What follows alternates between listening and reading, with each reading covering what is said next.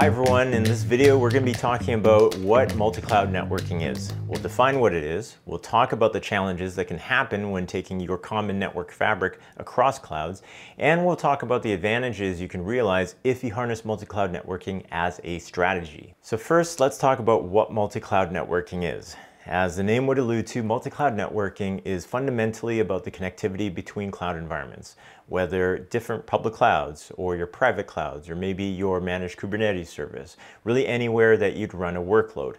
There's actually several ways to achieve this connectivity with the most well-known ways being the offerings from the public cloud providers, whether AWS's Direct Connect, Azure Express Route, or GCP's dedicated interconnect. In addition to those options, you could also look at running a transit appliance within your public clouds for additional capabilities. Or, depending on your private cloud connectivity provider, they may offer transit solutions as well. With all of these options, you can make individual connections to each cloud, potentially in a hub and spoke fashion or full mesh. Now let's talk about the challenges that you may encounter with multi-cloud networking.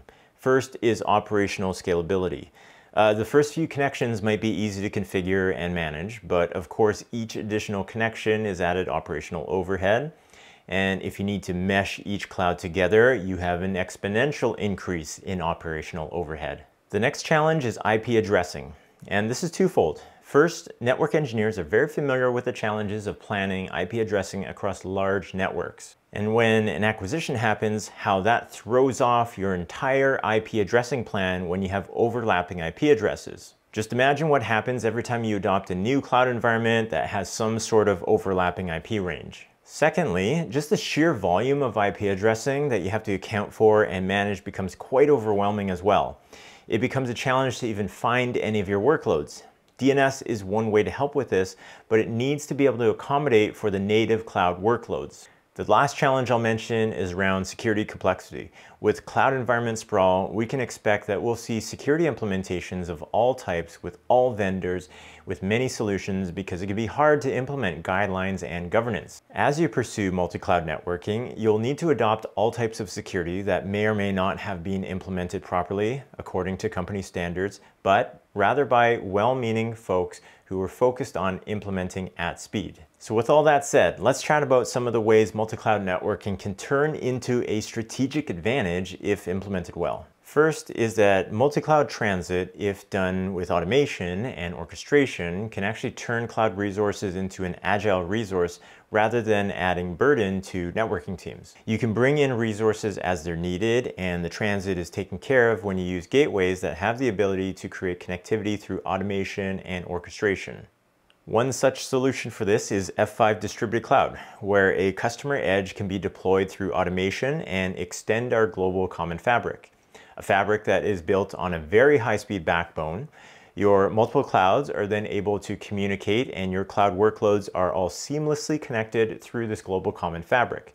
And this then allows for the consumption of the best features and services of each cloud provider. Another advantage to strategic multi-cloud networking is being able to enable a shared security model.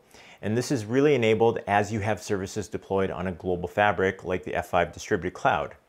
You'll have visibility to both ends of every connection from the edge to the application and the full capabilities of every service become a function of the network rather than functions of specific services or servers you'll be able to reduce the amount of one-offs across your cloud architecture while building security inherently on a fast, persistent, and stable network. And lastly, you'll enable a network fluidity that will allow you to accommodate for scenarios where you're acquiring a new organization or integrating additional clouds that have been built outside of your IP addressing parameters. From a routing perspective, bringing on new locations or clouds is simple through just the extension of your fabric. And for the scenarios where that new addition has IP addressing that overlaps, it's common to encounter a VPC that has been created with a 10/16 network.